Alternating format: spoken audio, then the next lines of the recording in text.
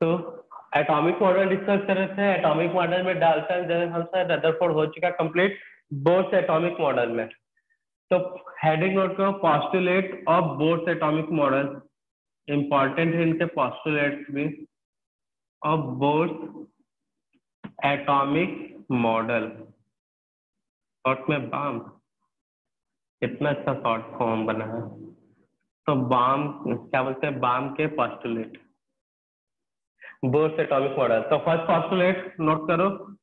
Atom सबने यही कहा इसमें भी यही कहा भाई। Atom is a spherical particle atom is a microspherical particle micro spherical particle second point the centre of atom ये जो कि बताया था रदरफोर्ड ने बट यहाँ पे भी इसके पॉसिबल में। The centre of atom is called क्या कहलाता है भाई? Is called nuclear the center of atom is called nucleus which contain क्या रहता है इसके पास? Which is contain proton and neutron हाँ positive charge particle positive charge particle that is called या ब्रेकअप नोट करो proton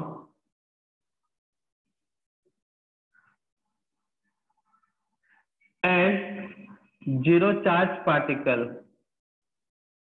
zero charge particle note down करते जाओ साथ में. बेटर नोट करो न्यूट्रॉन ये था आपका पहला चीज़ जैसे फ़ंक्शन नहीं पता चल गया था। सेकेंड न्यूक्लियस वाला बात रदरफोर्ड में चल गया था।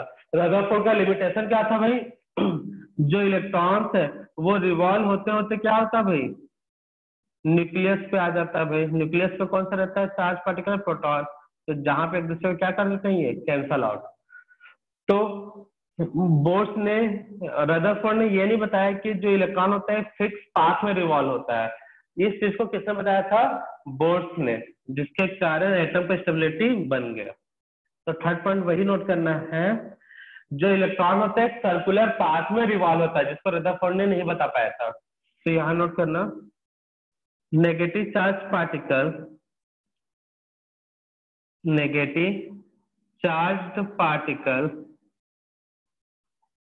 negative charge particles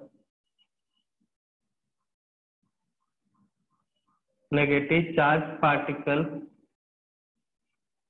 around to the nucleus around to the revolve negative charge particle revolve revolve. Negative charge particle revolved around to the nucleus to the nucleus in circular path. क्या कहते हैं circular path को बेटा? That is called orbit कल ओरिएंट है जिसको करना इज़ कॉल्ड ऑर्बिट और कुछ नेम था इसका?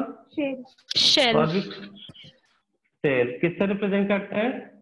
N hmm. इट इज़ हाँ स्मॉल एन ये याद रखना है। Represented by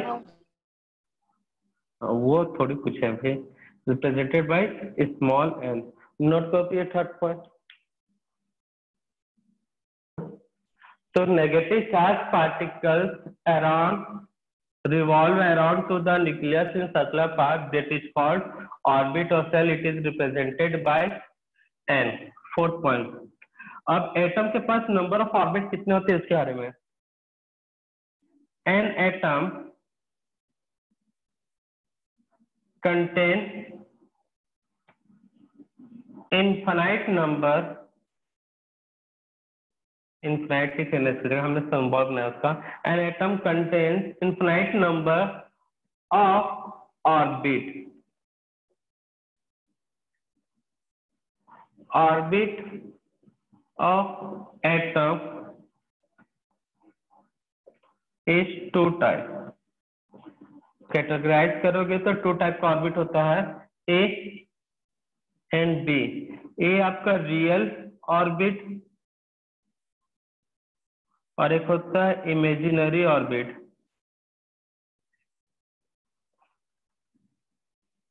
Imaginary imaginary orbit.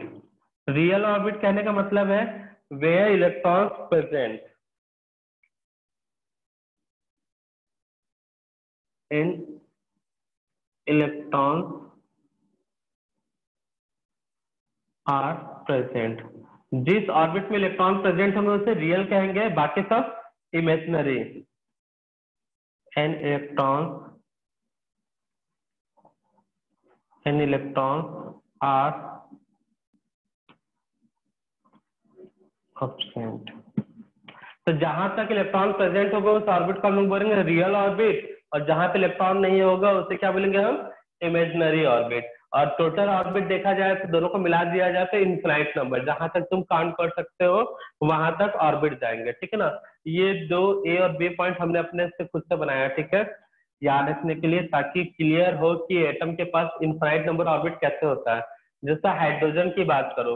Hydrogen के पास कितने ऑर्बिट होते हैं भाई? एक्चुअल में होते हैं कितने? वन लेकिन वन के बाद टू भी हो सकता है थ्री भी हो सकता है four five up to infinity तक जा सकते हो। तो जहाँ इलेक्ट्रॉन सिर्फ़ किसमें फ़र्स्ट वाले में है। तो फ़र्स्ट वाले को रियल बाकी सबको हम लोग क्या बोलेंगे? इमेजिनरी तो इलेक्ट्रॉन जिस ऑर्बिट में रहेगा, उसे रियल बाकी सबको किसमें कंसिडर कर लोगे? इमेजिनरी ऑर्बिट में। फोर्थ पॉइंट नोट डाउन करो जल्दी से। और जिसके स्क्रीन शॉट लेना ले सकता भाई। सब कोई भी चीज़ अगर मान लो मोमेंटम मोशन में है मतलब क्या होगा? इलेक्ट्रॉन चलो इलेक्ट्रॉन की बात कर रहे हैं। इलेक्ट्रॉन रिवॉल्व हो रहा है न्यूक्लियस में। तो भैया काइनेटिक एनर्जी हुआ। काइनेटिक एनर्जी मतलब हर एक इलेक्ट्रॉन का अपना मास होता है। वो भी फिक्स रहता है भाई mass 9.1 point one into ten power minus thirty one के और रिवॉल्व हो रहा है तो उसका वेलोसिटी भी होगा। होगा कि नहीं होगा? तो मास इंटू वेलोसिटी को क्या बोलते हैं? मोमेंटम मोमेंटम लेकिन इसमें भी मोमेंटम में भी टू टाइप होते हैं। एक होता है लीनियर मोमेंटम तो मास इंटू वेलोसिटी को क्या बोलते हैं? लीनियर मोमेंटम लेकिन लीनियर मोमेंटम मतलब एक स्ट्रेट पाथ में तुम रिवॉल्व कर रहे हो मतलब दौड़ रहे हो। जैसे तुम बाइक लेके चले भाई या फिर तुम दौड़ना स्टार्ट किए यहाँ से। यहाँ से तुम दौड़ना स्टार्ट करो इधर तो तुम्हारा मास है तुम्हारा वेलोसिटी तो इसको हम क्या बोलेंगे? लीनियर मोमेंटम अब तुम दौड़ रहे सर्कुलर पाथ में। तुम कहाँ पे दौड़ रहे हो भाई? सर्कुलर पाथ में। किसी के चक्कर काट रहे हो। तो उस मोमेंटम को हम लोग क्या बोलेंगे? Angular angular momentum angular momentum में एक परफेक्ट रेडियस के रेस्पेक्ट में तुम क्या कर रहे रिवॉल्व हो रहे हैं। इधर भी डिस्टेंस आर इधर भी आर इधर भी आर तो एंगुलर मोमेंटम एक नया टर्म मिल जाता है। मास इंटू वेलोसिटी तो होता ही है। एक रेडियस के रेस्पेक्ट में, एक पर्टिकुलर डिस्टेंस एक सेंटर से, एक पर्टिकुलर डिस्टेंस में क्या करे तुम? रोटेट हो रहे हो। तो इसलिए यहाँ पे एक नया टर्म आता है, जिसको बोलते हैं एंगुलर मोमेंटम तो समझ में आया? एंगुलर मोमेंटम क्या है? सीधा दौड़ना, तब मोमेंटम होगा लिनियर अगर गोल गोल घूमते रहो, ठीक है? तो उससे क्या? बोलेंगे एंगुलर मोमेंटम कहने का मतलब है मोमेंटम कोचिंग में पढ़ते तुम वहाँ तक अगर घूमते रहोगे अंदर ही तो उसको एंगुलर मोमेंटम मोमेंटम से भाग जाओगे बाहर, घर की ओर तो उस समय कौन सा मोमेंटम होगा? लीनियर क्लियर है? तो इलेक्ट्रॉन भी क्या होता है? रिवॉल्व होता है न्यूक्लियस के चारों ओर. सेकेंड पॉइंट या थर्ड पॉइंट में बताया गया है सेकेंड पॉइंट में बताया गया है. तो थर्ड पॉइंट में. जो इलेक्ट्रॉन है, वो रिवॉल्व हो रहा है. किसके अराउंड न्यूक्लियस के अराउंड तो अराउंड जब न्यूक्लियस के अराउंड रिवॉल्व होगा तो एक मोमेंटम जनरेट होगा, जैसे हम क्या बोलते हैं? एंगुलर मोमेंटम वो नोट करें when an electron revolve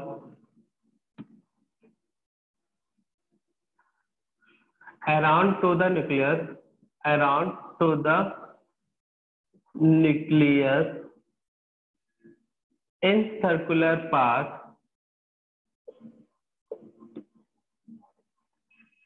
then angular momentum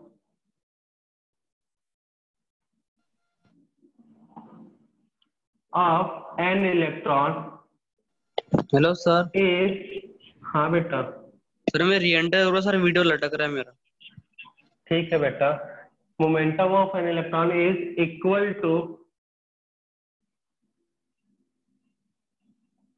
simple integral multiple of multiple of क्या होता था बताओ? एच अपॉन टू पाई तो मतलब angular momentum angular momentum equal to होगा एच अपॉन टू पाई का। इंटीग्रल मल्टीपल मतलब एक एन इंटीजर से मल्टीप्लाई होगा। एन यहाँ पे इंटीजर है। तो इस इंटीजर की जगह पे इसको बोला जाता है इंटीग्रल तो एन क्या एक इंटीजर है जिससे होगा वो मल्टीप्लाई और एंगुलर मोमेंटम क्या होता है? Mass into velocity linear radius आ गया तो angular equal to N H upon two pi ये होता भैया एंगुलर मोमेंटम ये क्या हो गया आपका? एंगुलर मोमेंटम नोट डाउन करो, फिर बताते हैं सब टर्म्स इसमें कौन कौन से क्या है। तो यहाँ पे जो m है, वो इलेक्ट्रॉन का मास है तो mass of electron mass of electron जो कि किसके कल होता है? 9.1 point one into ten to the power ये डाटा याद रखो तो अच्छी बात है K G V velocity of electron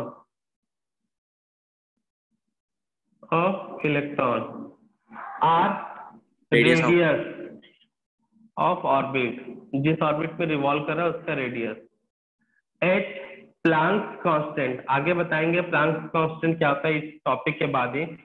Planck constant value आपको इसमें याद रखना है इंपॉर्टेंट है ये वैल्यू प्लांक कांस्टेंट का वैल्यू होता है 6.6 point six into ten to the power minus thirty four unit होता है जूल इंटू सेकेंड और ये भी याद रखना है one joule is equal to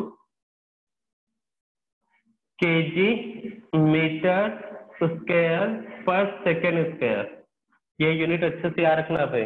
और एन क्या है? इंटीजर एन क्या है? इंटीजर एन क्या है? Simple integer simple integer hence, value of n. Value of n equal to 1 2 3 4 5 and so on. N यहाँ पे सिंपल इंटीजर है. इंटीजर का मल्टीपल मल्टीप्लीकेशन हुआ इसलिए इसको बोला गया इंटीग्रल मल्टीपल तो किसी को तकलीफ़ है इंटीग्रल मल्टीपल वर्ड से? किसी को कोई तकलीफ़ है इंटीग्रल मल्टीपल वर्ड से? सर यानी two multiply by two equal to four तो फोर इंटीग्रल मल्टीप्लाई मल्टीपल हुआ ना? क्या क्या क्या क्या बोल दिए बच्चों? Sir two into two four होता तो फोर वो हुआ ना integral multiple two into four होता है। क्यों लिखोगे भाई? यहाँ पे फोर सीधा। फोर्थ ऑर्बिट में होगा तब फोर लिखोगे। सेकेंड ऑर्बिट में है तो टू लिखोगे। फ़र्स्ट ऑर्बिट में तो वन लिखोगे। अरे सर सर सर वैसा नहीं सर। टू इंटू तो? टू का प्रोडक्ट फोर आता ना सर। हाँ। तो सर फोर इंटीग्रल मल्टीपल हुआ ना। एग्ज़ाम्पल है सर एग्ज़ाम्पल हाँ तो हाँ तो ठीक है ना तो फोर होगा। तो डायरेक्ट फोर लिख दो ना। ऐसा मतलब घुमा फिरा के बात क्यों किया जा रहा है? अच्छा एक और याद रखना। जो प्लांक कांस्टेंट होता सर है। नहीं समझे इंटीग्रल। हद है यार। इंटीजर नहीं जानते तो? किसको बोलते हैं इंटीजर सर मतलब सीधा सीधा जो एन की वैल्यू होगी वो रुको ना रुको। बेटा रुको। रुको बेटा रुको। इंटीजर नहीं मालूम तुमको किसको बोलते हैं integer one two three four five six ये इंटीजर होते हैं ना। इंटीजर से मल्टीप्लाई कर दिया गया है।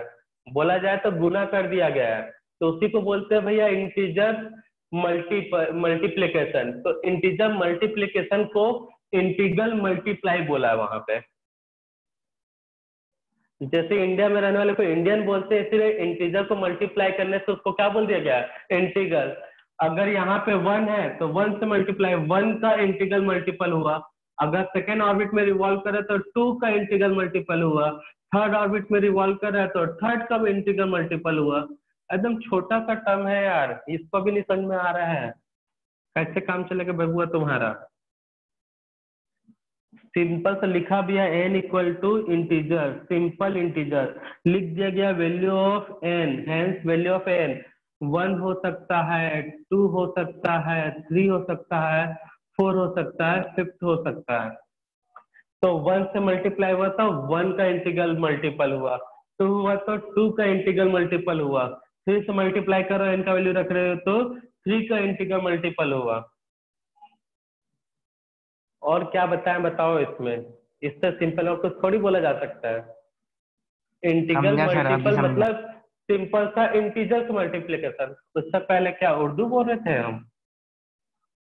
और यह था एच का equal to H upon two pi ठीक है ना? छोड़ रहे हैं इसको बाद में। नोट डाउन कर लो इसको पूरे को।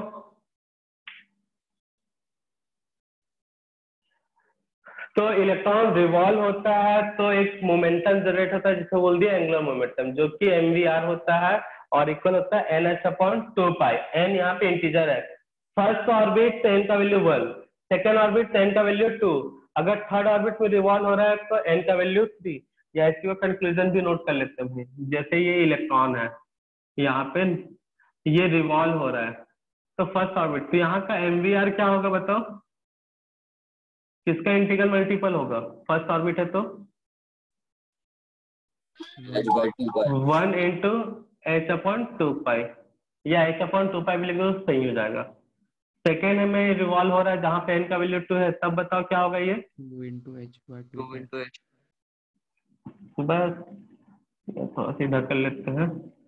M V R equal to one into H upon two pi यहाँ पे क्या होगा? M V R two into H upon two pi तो टू टू कैंसिल भी कर सकते हो ठीक है ना? अभी मैं ऐसे ही बता रहा हूँ। थर्ड ऑर्बिट में रिवॉल्व होगा तो किसका इंटीग्रल मल्टीपल होगा? Three three into H upon two pi हाँ three into H upon two pi ऐसे ऐसे इन्फिनिटी पे होगा तो? Infinity into H by two infinity into H MV upon two upon two pi बस और क्या? तो क्लियर है? ये था इंटीग्रल मल्टीपल वन का टू का थ्री का ये इन्फिनिटी सिक्स पॉइंट अच्छा तुमको ये बताओ तुम ज़्यादा कमाने लगोगे कभी तो क्या करोगे? नागपुर छोड़ के कहीं बाहर जाने का मन करेगा कि नहीं करेगा? बहुत ज़्यादा पैसा आ गया था। करेंगे ना सर करेगा ना भाई? Yes, कोई. ऐसा एक आध एक्सेप्शनल को छोड़ ठीक है ना भाई? कई लोग को अपना गाँव अपना जगह ही बहुत प्यारा लगता है उन लोग को छोड़। लेकिन अगर मैं दस में से अगर सौ में से सौ लोगों की बात करूँ तो उसमें एटी परसेंट लोग यही सोचेंगे कि ज़्यादा पैसा आ रहा है तो कोई अच्छी जगह पे शिफ्ट हो जाते हैं। वो अच्छा जगह शायद नागपुर के किसी एरिया में हो या बहुत ज़्यादा पैसा आ गया तो वो अच्छा जगह शायद इंडिया से बाहर हो या इंडिया के किसी कोने में होता है कि नहीं होता भाई? सेम इलेक्ट्रॉन के साथ भी ऐसे होता है। हर एक ऑर्बिट हर एक ऑर्बिट का एनर्जी होता है अपना। हर एक ऑर्बिट का क्या होता है? एनर्जी जैसे फ़र्स्ट ऑर्बिट है उसका एनर्जी ई वन बाकी के जो पॉस्टुलेट है इसी पे बेस्ड है। सेकेंड ऑर्बिट है तो उसका एनर्जी कितना है? ई टू थर्ड ऑर्बिट है तो इसका एनर्जी कितना है भाई? कितना होगा? बोलो आप। लॉजिकली तो बताना है। ए टू थर्ड ऑर्बिट से ए थ्री ए फोर और लास्ट में ए फाइव इंफिनिटी तो एक एक पॉस्टुलेट बनेगा एनर्जी का। सेकेंड पॉस्टुलेट बनेगा हर एक इलेक्ट्रॉन का रेडियस होता है। सॉरी इलेक्ट्रॉन का नहीं हर एक ऑर्बिट का रेडियस होता है। देखो भाई सेंटर सेंटर से सर्कमफ्रेंस रेडियस कहलाएगा कि नहीं कहलाएगा? फ़र्स्ट ऑर्बिट का रेडियस था आर वन सेकेंड ऑर्बिट का रेडियस तो क्या बोल दोगे उसे? R two R two second का रेडियस है तो आर टू थर्ड का रेडियस होगा तो आर थ्री फोर्थ का रेडियस होगा तो आर फोर तो हर एक ऑर्बिट का रेडियस है और हर एक ऑर्बिट का एनर्जी है। तो दो पॉस्टुलेट एनर्जी का एक पॉस्टुलेट और एक रेडियस का। उसके बाद इलेक्ट्रॉन अभी कुछ देर पहले बोला तुमको जब पैसा ज़्यादा मिलने लगेगा मतलब हर एक ऑर्बिट का ये एनर्जी जो है इवन लो है ये थोड़ा सा हाई हाई और ये हाई और इंफिनिटी वाला जो होता है वो बहुत ज़्यादा हाई होता है। ठीक है ना? ये लो हाई हाई इंफिनिटी का एनर्जी ज़्यादा है। तो इलेक्ट्रॉन पहले कौन से घर में रह रहा था? एन वन वाले में। एनर्जी कहीं से मिला इलेक्ट्रॉन को? मतलब पैसा मिल गया। तब इलेक्ट्रॉन क्या करेगा भाई? मूव ऑन कर जाएगा। ऐसे बोलते हैं ना। शिफ्ट हो जाएगा। कहाँ पे? एन टू पे। अगर एनर्जी इतना हाई मिल गया जहाँ पे वो एन थ्री पे सरवाइव कर सकता है। तो इलेक्ट्रॉन कहाँ चल जाएगा? एन थ्री पे। अगर इलेक्ट्रॉन का एनर्जी इतना हो गया कि एन फोर के इक्वल है तो इलेक्ट्रॉन कहाँ जाएगा? फोर पे। और ज़्यादा एनर्जी मिल गया तो कहाँ जा सकता है? इन्फिनिटी पे। समझ में आ रहा है? जैसा हम लोग सोचते हैं वैसा इलेक्ट्रॉन भी सोचता है। ठीक है ना? तो जैसे जैसे ज़्यादा एनर्जी मिलेगा तो इलेक्ट्रॉन लो एनर्जी से कहाँ चल जाएगा? हाई एनर्जी पे। कहाँ चल जाएगा? हाई एनर्जी पे। और उसके बाद जब इलेक्ट्रॉन हाई एनर्जी पे चल जाएगा वापस कहाँ आएगा भाई? लो एनर्जी पे। तब क्या होगा भाई? देखो यहाँ पे हाई एनर्जी पे चल गया तुमने बहुत पैसा कमा लिया बाहर कहीं दूसरे देश चल के रहने के लिए।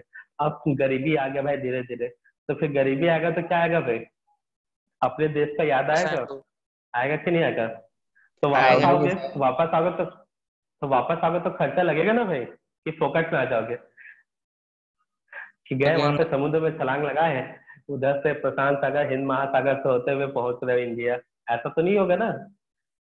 खर्चा करोगे तब आओगे। तो वैसे ही इलेक्ट्रॉन एनर्जी को एब्जॉर्ब करता है। क्या करता है? एब्जॉर्ब और उसके बाद लो से कहा चल जाता है? हाई एनर्जी पे।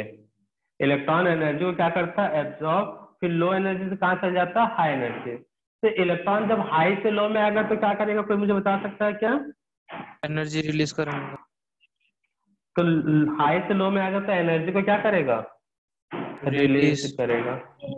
हम्म। तो क्लियर है? तो इन्हीं को पूरे मिला के दो चार पॉस्टुलेट्स और बनेंगे। तो समझ में आया? पहला एक हर इलेक्ट्रॉन का एनर्जी होता है। हर इलेक्ट्रॉन मतलब हर इलेक्ट्रॉन जहाँ पे रिवॉल्व होता है उसका एक फिक्स डिस्टेंस होता है न्यूक्लियस से, जब भी इलेक्ट्रॉन रिवॉल्व होता है, उसको बोलते हैं रेडियस और इलेक्ट्रॉन एनर्जी को एब्जॉर्ब करता है तो लो से कहाँ चल जाता है? हाई और रिलीज़ करता है हाई से लो यही सब चीज़ों को अपने पॉस्टुलेट में कन्वर्ट कर रहा हूँ. तो सिक्स पॉइंट नोट करना।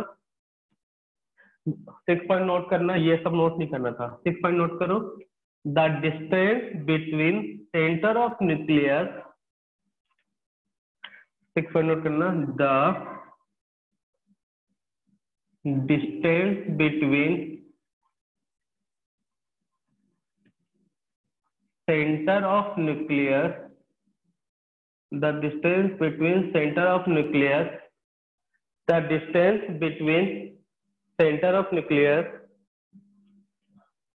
the distance between center of nucleus to outer shell electron. Outer cell electron is called atomic radius. Is called atomic radius. And the distance the distance between nucleus to each orbit each orbit or cell is fixed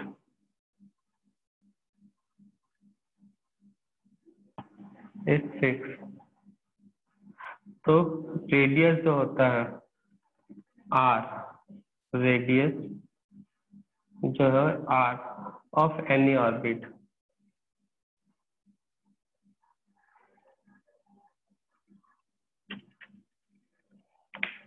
note करें, उसका formula note करना है। ये important है formula radius of any orbit या फिर cell तो radius के लिए आर एनी ऑर्बिट मतलब एन का वैल्यू कुछ भी हो सकता है is equal to N square upon H square upon four five N square upon H square upon four five square N E Z E square Z सबका बताऊँगा यहाँ पे जो भी सिंबल दिख रहा है, उसका मीनिंग क्या है? N square upon H square four five square N E square Z इस पूरे को जब वैल्यू पुट करके सॉल्व करोगे तो आता है zero point five two nine into N square upon Z और यूनिट होगा इस समय एंगस्ट्रॉन अब देख लेते हैं यहाँ पे बहुत सारे सिंबल दिख रहे हैं। उस सिंबल का नाम क्या है? पहले फॉर्मूला नोट करो। सिंबल का नेम बता रहे हैं हम, ठीक है ना?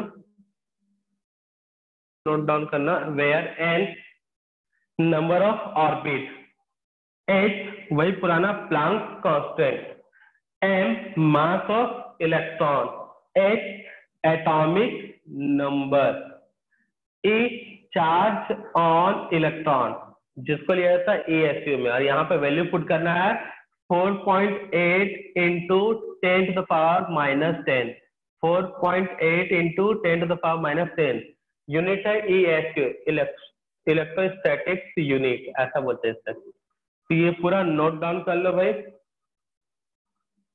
क्या इलेक्ट्रॉन क्या? माइक नोट करके रखोगे। फिक्स होता है ये वैल्यू किसके इक्वल होता है भाई? आर एन पहले N square upon H N square upon H square उसके बाद four pi square N E square Z यही था। सॉल्व करने पे कितना आता है भाई ये? Zero point five two nine into N square upon Z unit क्या होगा? पूरा एंगेस्टॉन लेंथ का यूनिट है. अब first orbit radius R one second orbit radius R two third orbit radius R three वैसे कौन सा ऑर्बिट होगा? इन्फिनिटी नोट कर लो ये डायग्राम एक रफ डायग्राम ऐसे. ये आर इन्फिनिटी ये डायग्राम नोट कर लो, ठीक है ना? और उसके बाद भूल जाओ, ये एस ये क्या था? बस याद रखना वैल्यू इतना पुट करता है four point eight into ten to the power minus eight sorry minus ten E S U electrostatics unit of charge note down करो जल्दी डायग्राम जैसे भी अच्छे से बनाना अच्छे से बना लो। सेवन पॉइंट जैसे हर एक ऑर्बिट का एनर्जी होता है रेडियस होता है वैसे हर एक ऑर्बिट का क्या होता है? रेडियस सॉरी हर एक ऑर्बिट का क्या होता है? एनर्जी तो डायग्राम बनाएँगे यहाँ पे भी. ये पहला ऑर्बिट है तो इसका एनर्जी क्या होगा? एन वन है तो एनर्जी क्या ले लोगे? ऑर्बिट है एन वन तो एनर्जी ले लो ए वन ठीक है? वैसे सेकेंड ऑर्बिट है तो ऑर्बिट सेकेंड है तो एनर्जी को किससे रिप्रेजेंट करूँगा? ई टू से। थर्ड ऑर्बिट है तो एनर्जी क्या होगा? ए थ्री वैसे आप डायरेक्ट चल जाते हैं इन्फिनिटी पे। इनफिनाइट नंबर ऑर्बिट है तो एनर्जी भी क्या होगा. ए इनफिनिट ए इनफिनाइट ठीक है? तो नोट कर लेना सेवन पॉइंट में the energy of each orbit each orbit is fixed and value of energy is. Energy का फॉर्मूला है A equal to minus N square upon H square नीचे होगा एन स्क्वायर एच स्क्वायर ऊपर में four five square M और क्या था? Z तो यहाँ पे Z square M E four check करो तो वैल्यू यही है ना?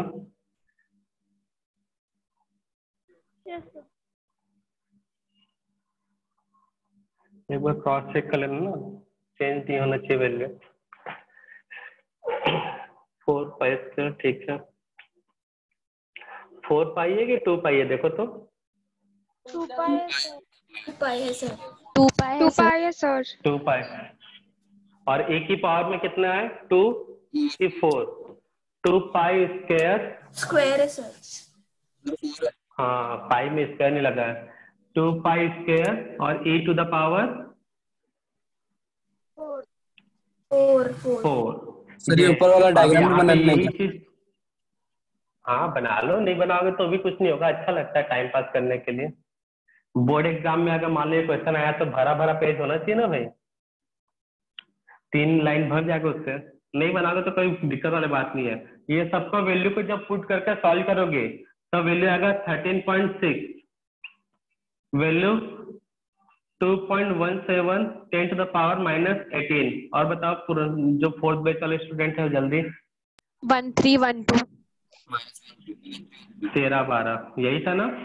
सब में क्या होगा? N Z square upon N square Z square upon N square Z square upon N square unit बता सकता है कोई मुझे? पहला वाले का यूनिट क्या है?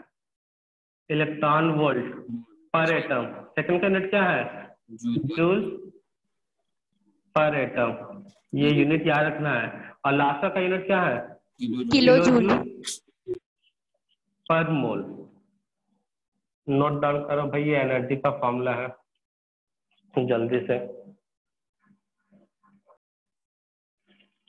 N electron N electron goes to कहा जाएगा भाई? Low to high energy goes to low to high energy shell और ऑर्बिट कैसे जाएगा भाई? N electron goes to low to high energy shell और ऑर्बिट कैसे मूव करेगा भाई? Energy of the by absorption of energy absorption of energy by absorption of energy and this process process is called कोई बता सकता हमें excitation of electron excitation हाँ। Process excitation of electron. Eight point. An electron goes to low to high energy cell or orbit by absorption of energy and this process is called excitation of electron इसको nine point and electron comes to कहाँ से आएगा भाई? High to low energy shell कैसे आएगा भाई?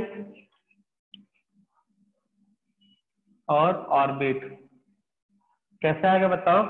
By releasing of release releasing of energy and this process is called is called क्या कहेंगे भाई इसे